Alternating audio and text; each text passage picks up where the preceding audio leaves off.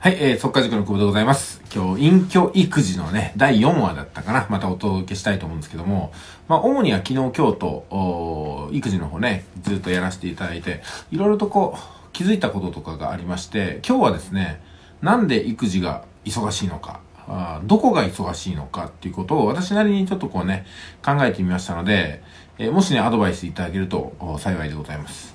まあ基本的にその授乳時間っていうのがありますよね。あの、ちっちゃい赤ちゃんにおっぱいを飲ませる時間ですけど、これが1日に3時間ごとに来るというふうな、あまあスケジュール。これを軸に生活が動くわけなんですけども、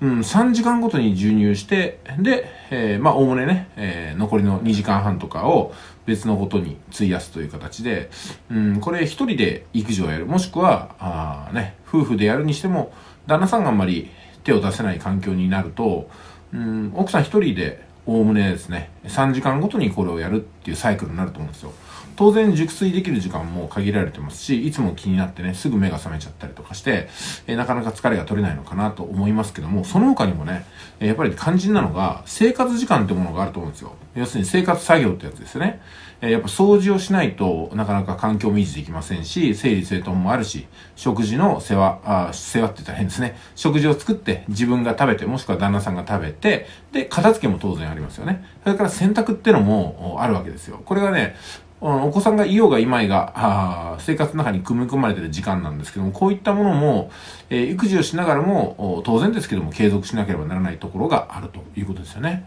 やっぱり洗濯物って干したら取り込まないといけないですから、あの、今はね、洗濯機があるから、もうポンとボタンを押せば自動的にやってくれるにしても、うん、干しに行ったり取り込んだりとか天気の関係とかあると思うんですよ。だからこういうところにも、うん、やっぱ時間を傾けていかないといけないってことなのかなと思います。あとはね、乳児用具ですよね。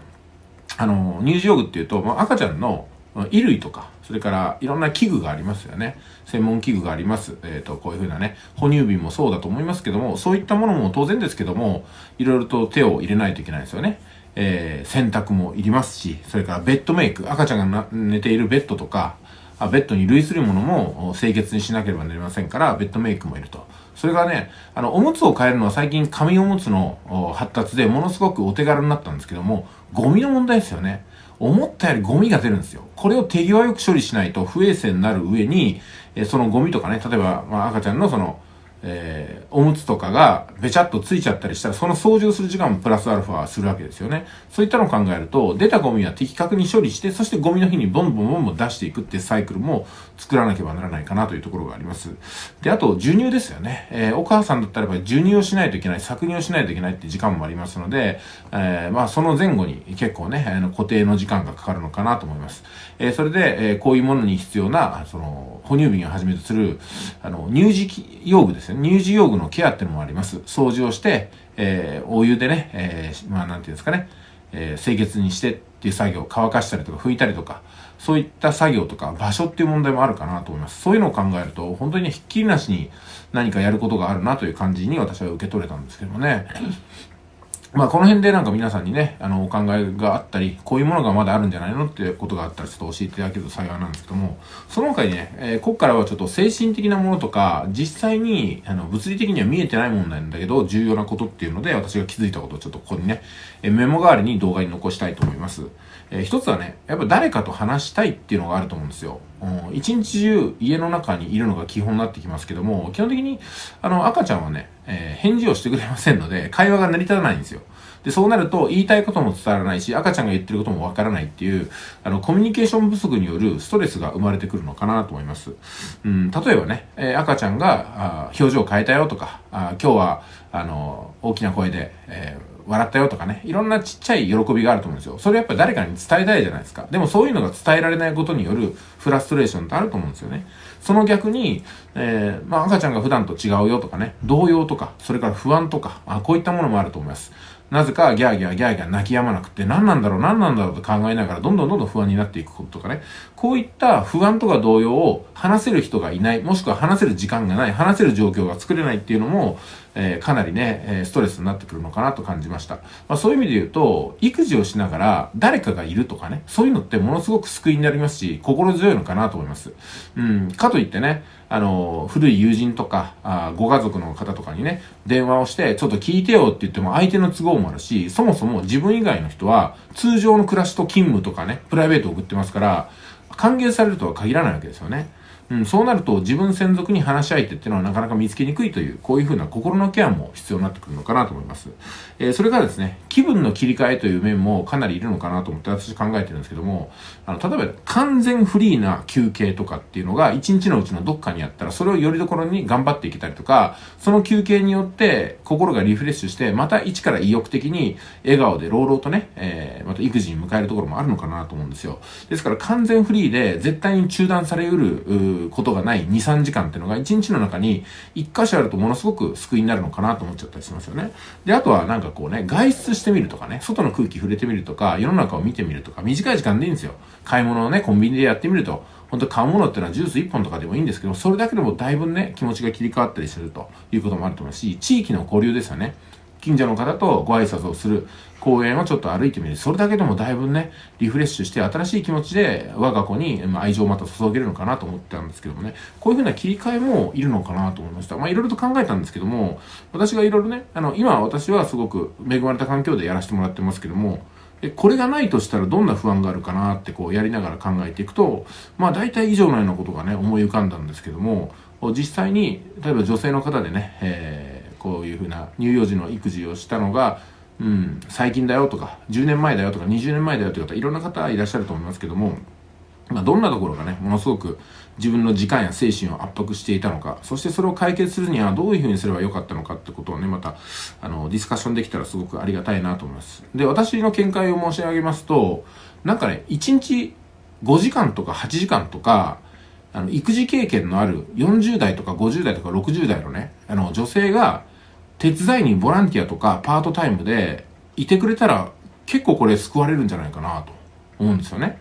うん、なんか初めてで不安なことでもその人が率先してやってくれたりとか動揺してることでも大丈夫だよって一言かけてくれるだけでねなんか救われた気になるとかあのその方にお任せしてちょっと1時間2時間仮眠してきますもいいと思いますしね、えー、もちろんそれはあの今の制度上できるのかどうかって問題もありますしそれをね、えー、サービスとしてえー、提供するところがあるのかどうかって問題がありますけども、今のところなんかね、えー、お身内の方がそれをやってる状況なのかなと、ぼんやり思ってるんですよね。で、私はまあ、あの、ご存知のように、ずっとこの24時間おりますんで、あの、奥さんとね、2馬力でできるわけなんですけども、うん、私の感想を言うと、思ったより手がかからないっていうことが結構あるんですよ。まあそれは、あの、生まれてきた大和くんのね、コンディションにもよるんですよ。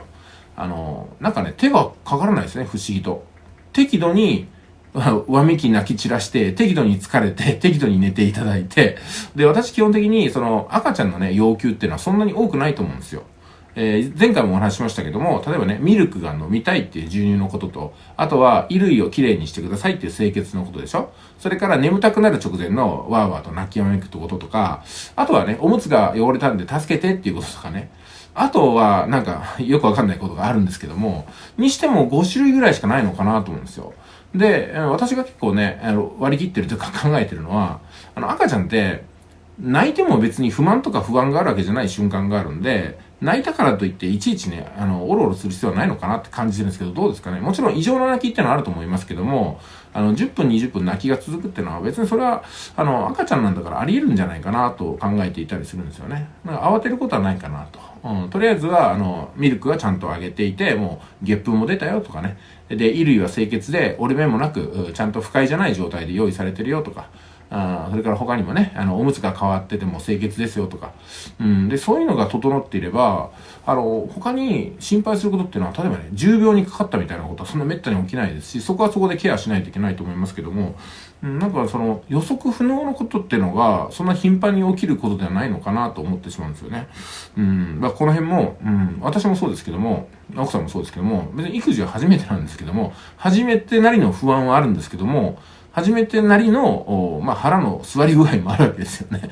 それから一番は、きっとですね、一緒にやってるっていうこの心強さなのかなと思いますよね。うん、いろんなことを話し合ったりとか励まし合ったりとかね、えー、学び合ったりとかできるのがいいことかなと思いますし、適度にね、アイスクリーム食べたりとか、チョコレート食べたりとか、あの、自分をね、休ませる時間とかも持てるということとか、うん、そういうとこもあるのかなと思いますね。私の場合はこうやって放送することによって結構ね、あの、気持ちとか頭が整理できたりとかするんですよ。それから、あの、先ほどもそうですけども、育児経験のある方からのコメントをいただいてからね、ああ、いろんなことに気づけるなーっていうふうにね、う思えるところもありますし、まあ根本はですよ、根本は、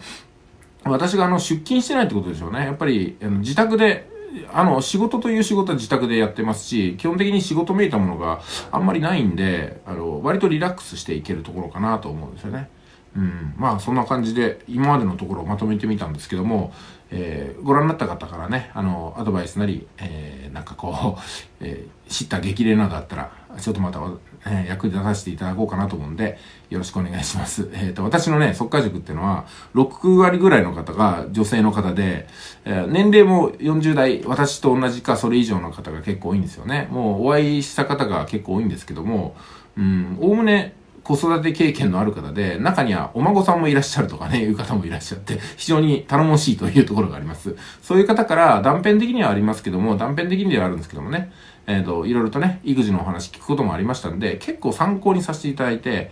それが私の安心感にもなってるのかなというところがあります。それから去年と、これ今年にかけて47都道府県オフ会という形で、全国各地回らせていただいて、この、視聴者さんとかね、塾生さんに、あの、関わる時間いただきました。やっぱりね、あの、奥さんと行ったんで、二人で、あの、全国各地行ったんですけども、うん、事前にいろんなことをね、お話しいただいたんで、あの、まあ、なんていう安心感もありますかね。こういうふうな放送すれば日本全国各地の方が気にかけてくださるとかね、見ていてくださるとか、いざとなったらあの人に頼もうみたいな顔がね、結構浮かぶんですよ。頼りにしてますよ、皆さん。あでも本当にそういう安心感っていうのが、育児にはすごく大きなね、頼りになるのかなと思います。本当に皆さんのおかげでございます。ありがとうございました。では、あの、この辺でね、えー、第4話だったかな。えー、隠居育児の回、えー、終わらせていただきます。また次回失礼します。